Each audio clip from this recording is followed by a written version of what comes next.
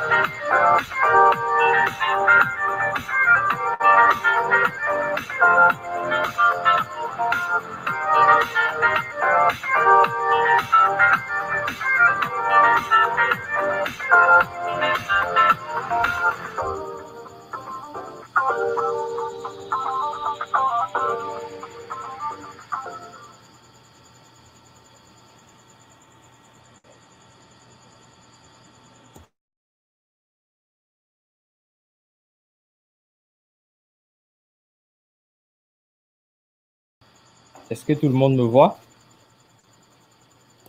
Bonsoir à tous. Et je vois déjà une personne qui est connectée là. Super. Bien. Euh, déjà, vous avez vu cette vidéo qui présente les progrès de la technologie durant l'année 2020. Euh, alors, euh, Aujourd'hui, nous allons parler de la technologie Accord de Skyway.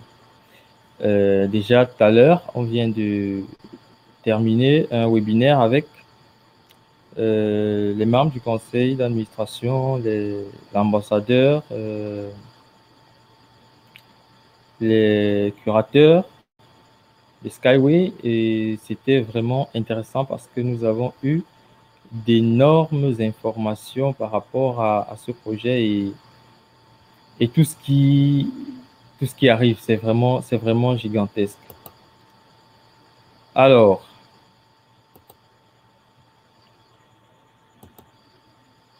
nous allons débuter. Euh,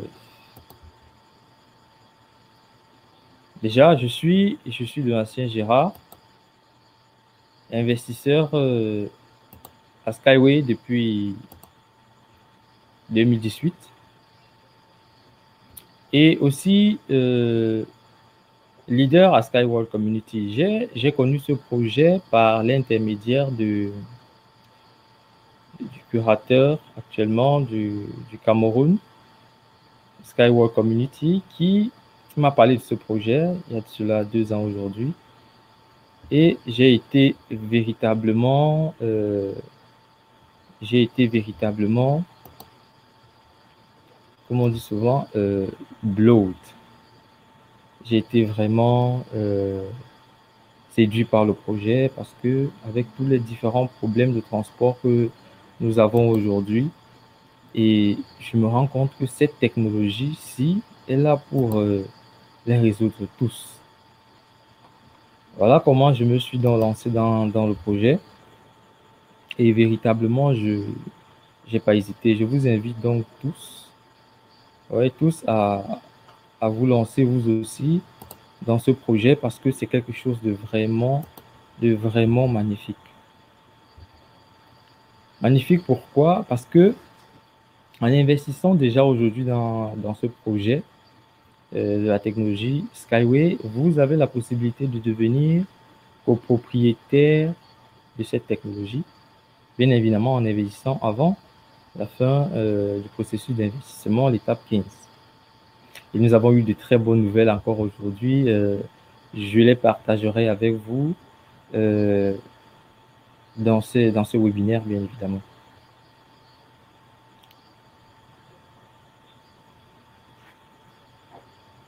Alors, sans toutefois tarder, nous allons débuter. Désolé si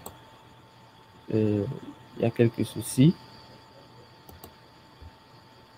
Vous pouvez me signaler s'il y a quelques soucis. Hein.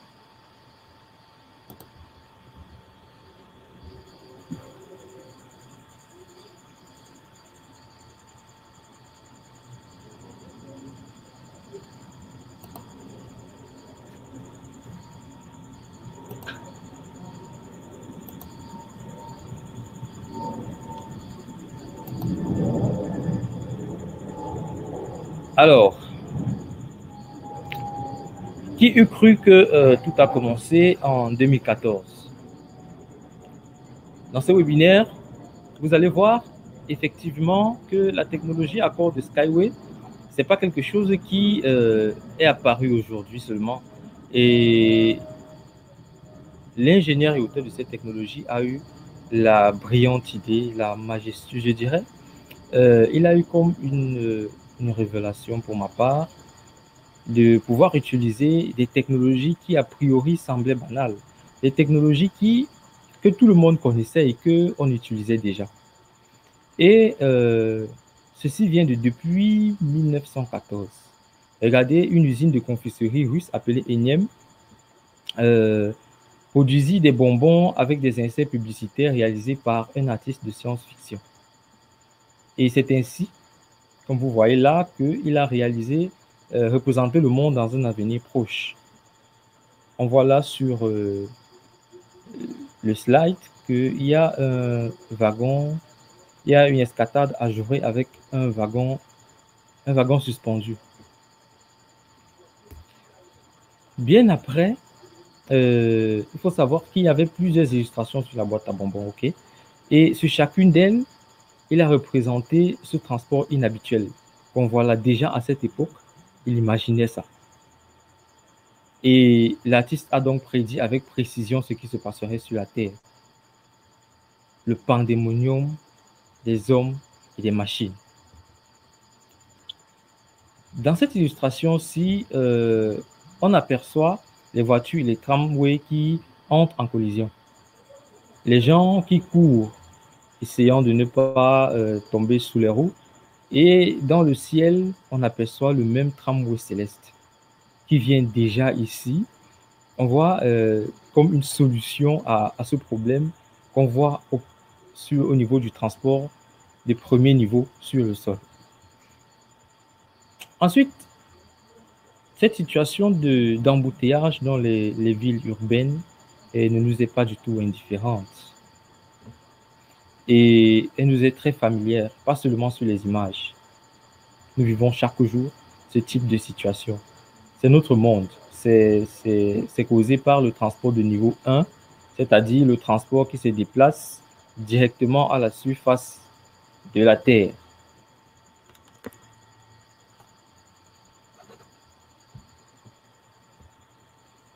Déjà, chaque année, il faut savoir que euh, 1,5 million et demi de personnes meurent dans un accident de voiture. C'est bien plus que toutes les tragédies énumérées. Ici, nous pouvons voir euh, le problème de congestion, que rencontrent les différents ports. Et ceci affecte gravement l'économie. Les ports étant surchargés n'ont pas le temps de traiter les marchandises et les navires sont obligés d'attendre chacun leur tour. Déjà, nous pouvons commencer donc à citer les premiers problèmes que rencontre le transport moderne, à savoir la surcharge des voies de transport et aussi le manque de sécurité qui, bien évidemment, cause la mort des personnes. Sur cette, euh, illustration, on peut voir euh, que les hommes euh, ont construit des routes, mais celles-ci sont envahies par la nature. Et la nature, elle, continue de vivre sa vie, et tandis que l'homme, lui aussi, essaye de se déplacer. L'homme étant persévérant, tellement persévérant, il oublie même qu'il commence à tuer le monde dans lequel il vit. Ceci est un autre problème criard dans notre société, les carburants que l'homme utilise. C'est un poison pour la nature. La nature, elle ne peut plus résister. Alors, ceci nous conduit au troisième problème que nous devons résoudre, euh, qui est un problème majeur de notre époque, à savoir la pollution de l'environnement. Il faut savoir que le passage du transport moderne en électricité euh, ne résoudra pas le problème de l'écologie.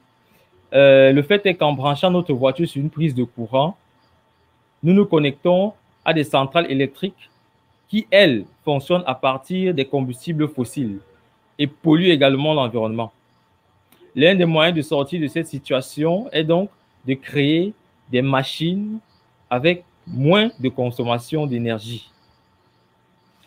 OK, nous chutons donc au quatrième élément, qui est le quatrième défi à résoudre, celui de réduire la consommation d'énergie. Il faut savoir que dans différentes années et de différentes manières déjà, les gens ont essayé de monter à la surface de la Terre plus haut au deuxième niveau, euh, où il n'y a pas de problème avec la pose des routes à travers les fosses, euh, les ravins, les rivières, les forêts. Mais cela ne s'est réduit qu'à la destruction de la même route posée sur des piliers massifs, comme vous pouvez voir là. les énormes coûts de matériel sont carrément évidents. Plusieurs tentatives de construire une route à l'envers ont été faites, comme au siècle dernier en Allemagne. Et de nos jours en Chine, un tramway avec des roues sur le toit diffère d'un tramway terrestre en ce qu'il y a moins d'espace occupé sur le sol. Et c'est tout, ce n'est là que la seule différence. Voici donc la partie qui commence à être assez intéressante. Vous pouvez voir d'où vient donc cette technologie.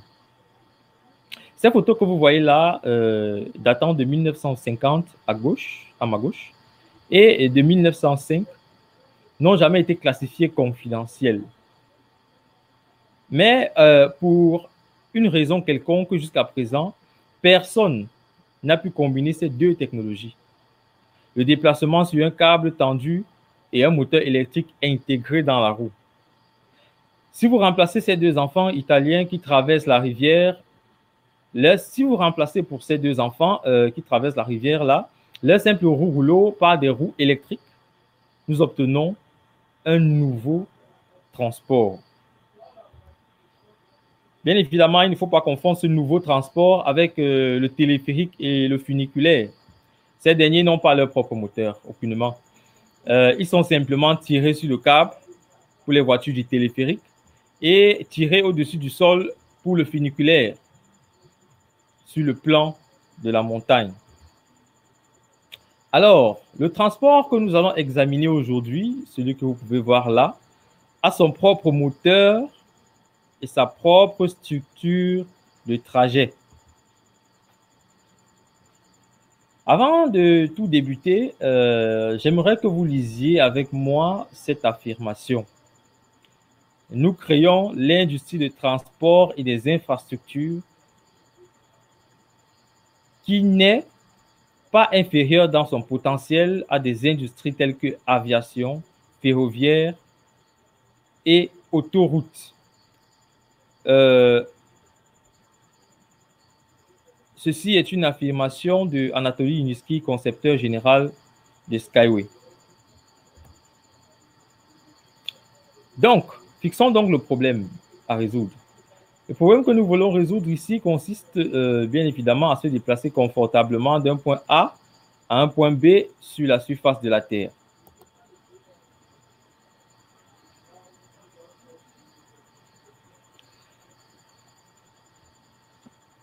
Ensuite, selon le schéma de production standard, lors de l'alignement de la surface terrestre, il est nécessaire de déplacer d'énormes masses de sol, de changer la faune et la flore, ce qui est un problème. Ensuite, il faut créer une fondation multicouche de 2 mètres sous la route. Et seulement, c'est à ce moment que nous pouvons poser les rails et laisser passer le matériel roulant. Pour éviter des travaux de terrassement lourds et la destruction de l'habitat, euh, des animaux et des plantes, il est donc possible de soulever la chaussée au deuxième niveau en construisant un pont. Rappelons la méthode donc utilisée par les enfants au-dessus de la rivière dans euh, l'image précédente, avec un câble tendu comme une corde. Au lieu d'un pont, imaginez, on remplace celui-ci, ce pont lourd, par des câbles légers. Ensuite, les supports lourds ne seront pas nécessaires. On les remplace donc par des supports légers. Et on va tirer le câble. Ensuite, nous fixons les extrémités dans le sol, de la même manière que les cordes sont fixées sur le corps de la guitare. J'espère que tout le monde voit où on est en train d'aller. Et ensuite, nous élevons les supports, nous enlevons, autant pour moi, les supports qui ne sont pas nécessaires. Nous plaçons donc notre câble dans une enveloppe. Nous obtenons une structure de rail métallique, comme vous pouvez le voir sur ce schéma. Ceci est une, une vue en coupe euh, du rail à cordes de la technologie euh, Skyway. Euh, il est constitué du corps de rail, des cordes proprement dites, la tête de rail remplisseuse et tout le reste que vous pouvez voir là. Sur cette base, donc, il est possible de créer trois types de structures de trajet, chacune d'elles ayant ses propres tâches et avantages, à savoir une structure rigide, une autre semi-rigide et une troisième structure souple. Regardez les dimensions réelles donc du semi-rail, euh, du rail semi-rigide et flexible sur ce schéma. Le schéma que vous avez ici euh, est un photomontage qui montre des aubans supportant le vrai pont. Les mêmes aubans peuvent servir de base à la structure de trajet à cordes. En passant dans ce cas, vous pouvez vous passer des supports intermédiaires dans l'eau. La largeur de la rivière à cet endroit peut être facilement bloquée par une seule travée. Cette image que vous voyez là est une photo réelle. Ce n'est pas un photomontage. Euh, elle a été prise en 2019 dans l'éco-technoparc près de la ville de Minsk en République de Biélorussie. Une caractéristique distinctive des structures de trajet de rail à cordes est que les rails n'ont pas de soudure, ce qui signifie que nous n'entendrons pas le bruit caractéristique des roues en acier.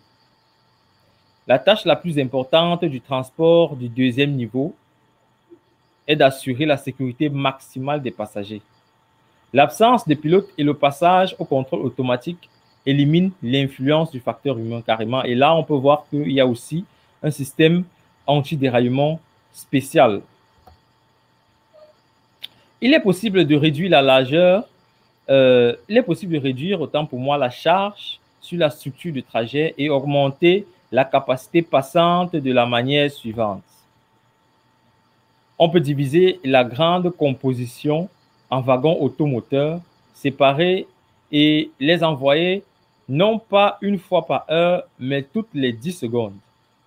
Avec le déplacement moderne de la technologie euh, informatique et l'automatisation complète du processus, il ne sera pas difficile de résoudre ce problème logistique. Revenons aux photos qui nous sont familières, toujours ces fameuses photos, euh, ou plutôt aux roues moteurs. Ceci est l'une des roues moteurs créées spécialement pour le transport à cordes. Les avantages de ces roues sont non seulement la simplicité, la compacité et la puissance, mais aussi la consommation d'énergie réduite. Vous voyez que nous sommes déjà en train de résoudre un des problèmes que nous avons suscités. Ceci est également facilité par la résistance minimale lors du roulement de la roue en acier sur le rail en acier. La solution la plus importante pour réduire la consommation d'énergie est de réduire la résistance aérodynamique de l'air. Lorsque la vitesse du véhicule augmente, la consommation d'énergie augmente considérablement. Les courants de vent complexes autour du corps d'une machine qui roule sur le sol affectent gravement la consommation du carburant de celle-ci. Et euh, sur le transport de second niveau, les flux d'air d'au-dessus du sol n'ont pas d'effet. La norme de la coque originale testée dans la soufflerie permet d'atteindre des performances uniques et inaccessibles.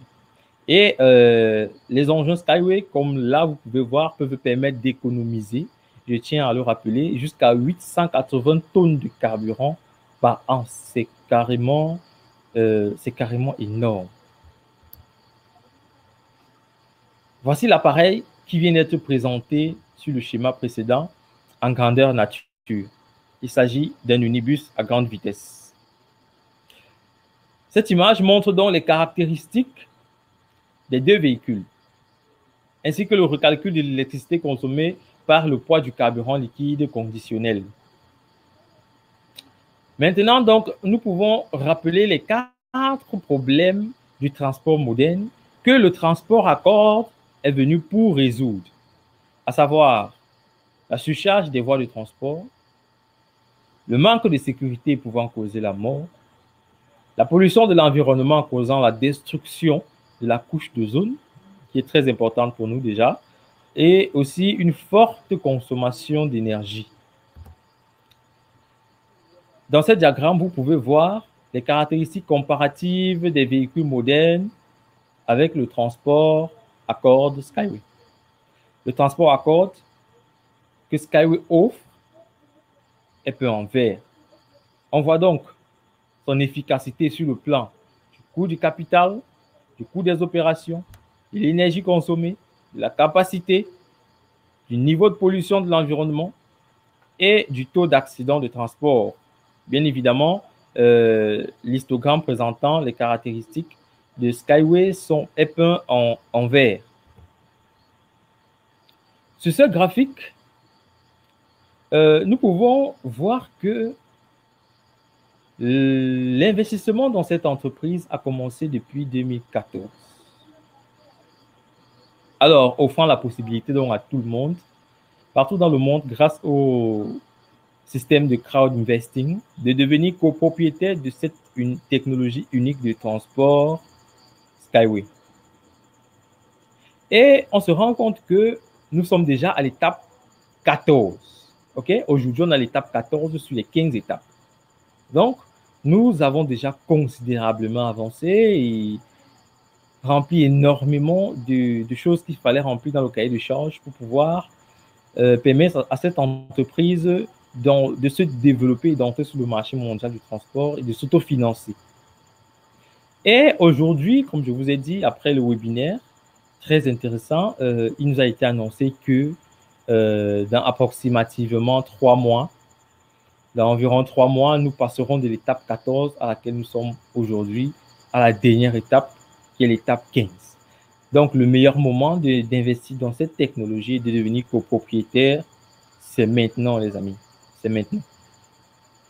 Alors, ce graphique que vous voyez là montre clairement euh, une comparaison entre euh, le système de transport à port Skyway et les autres systèmes de transport existants ou projectés. Et on voit que le coût par kilomètre est près de 10 fois inférieur à celui des autres systèmes de transport.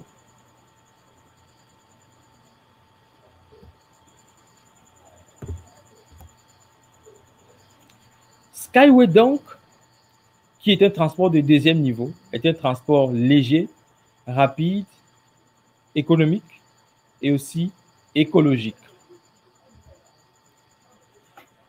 À tout seigneur, tout honneur, l'auteur de la technologie est Anatoly Yunitsky. Ce monsieur que vous voyez là, euh, il a fallu 40 ans de recherche, de calcul, d'expérience pour que sa création voit le jour. Des détails de sa biographie et ses développements peuvent être trouvés sur son site anatoly.uniski.engineer. Il y a aussi des matériaux pour ceux qui sont particulièrement curieux avec des calculs détaillés sur la technologie, bien évidemment. Et actuellement, cette mode de transport pour les passagers ont déjà été développés, à savoir UniWind, Unibike, Unicar, vous pouvez le voir là, Unicar aussi, euh, trois fois six places, Unibus, Unibus et un unibus à grande vitesse.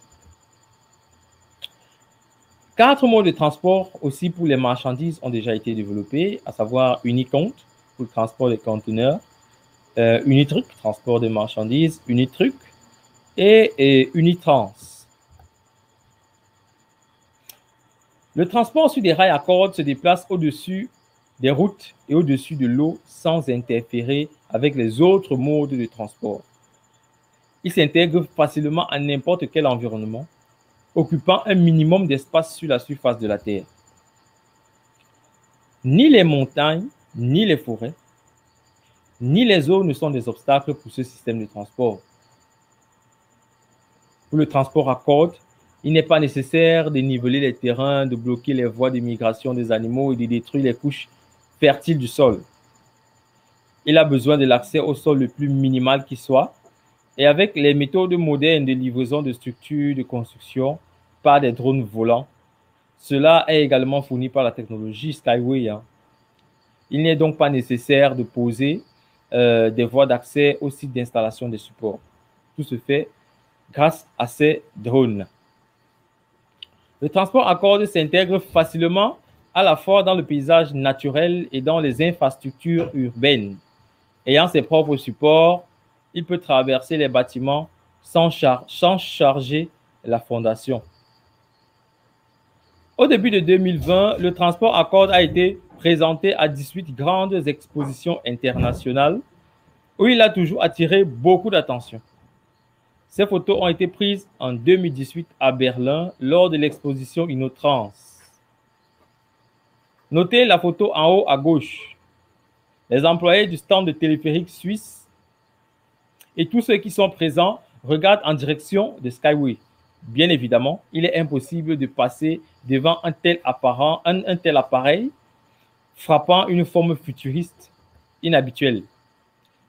Avant d'entrer sur le marché, tout véhicule, bien évidemment, en particulier ceux qui impliquent le transport des personnes, des êtres humains, doit subir de nombreux tests d'essai.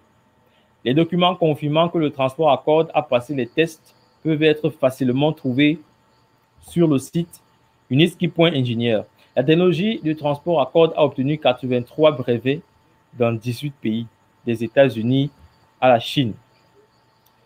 Aussi, elle a obtenu plusieurs certificats euh, et plusieurs récompenses. Ceci, ce n'est que quelques. Vous pouvez voir le reste euh, sur le site de l'entreprise. Sans aucun doute, il est impossible pour une seule personne. OK, il est impossible pour une seule personne de mener à bout un tel travail titanesque. Et pour ce faire, donc, la société Uniski String Technology a été créée à Minsk, en République de Biélorussie. Et depuis 2019, la société emploie plus de 1000 professionnels hautement qualifiés. La structure est composée de 80 départements et bureaux d'études, la propriété de bureaux et de production couvre une superficie totale de plus de 10 000 mètres carrés. Et dans sa propre production, 11 euh, machines complexes ont déjà été conçues et fabriquées. Des marchandises et passagers, urbains et interurbains à grande vitesse et à hyper vitesse, suspendus et montés d'une capacité de 2 à 200 passagers et une capacité de charge pouvant aller jusqu'à 35 tonnes. Quatre autres modèles, y compris dans la version tropicale, sont en cours d'exécution. Non loin de Minsk se trouve l'Eco-Technopark, qui est le premier site d'essai, de certification et de démonstration de la technologie Accord. La photo que vous voyez là a été prise en 2016. Trois ans après, en 2019, voici une photo prise de ce même éco-technopark et cet endroit ne peut plus être reconnu. Tellement de choses ont évolué. Et chaque année, à l'heure de l'EcoFest, des milliers d'investisseurs se rassemblent sur ce site pour voir de leurs propres yeux les réalisations et s'assurer de la réalité de tout ce qui se passe. À chaque fois, quelque chose de nouveau est montré ici. En septembre 2018, on a commencé la construction du centre d'innovation Skyway aux Émirats arabes unis, dans l'émirat de Sarja.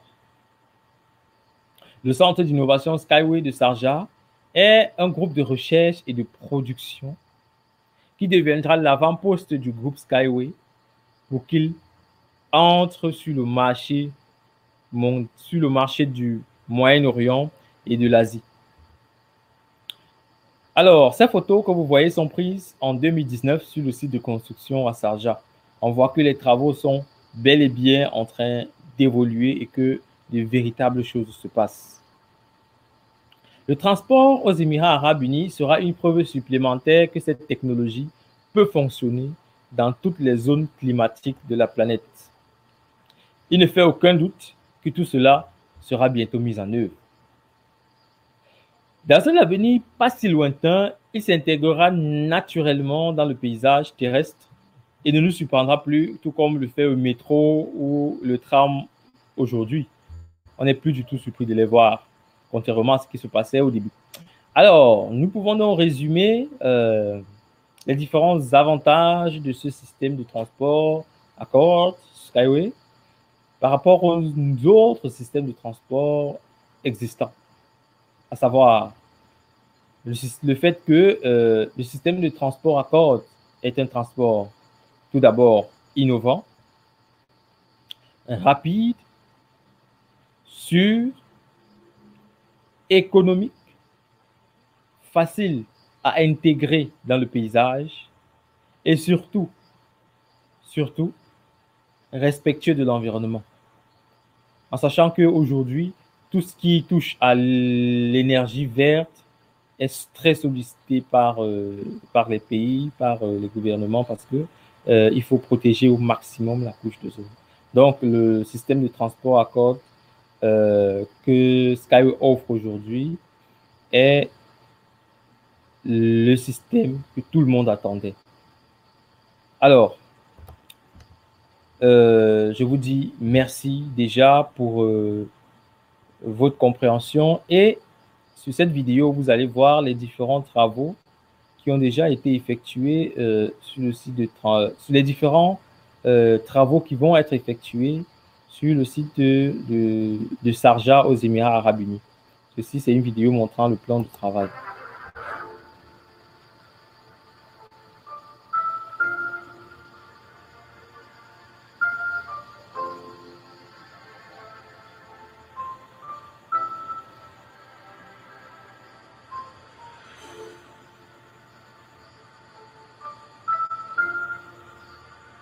Actuellement, on est à la phase 2.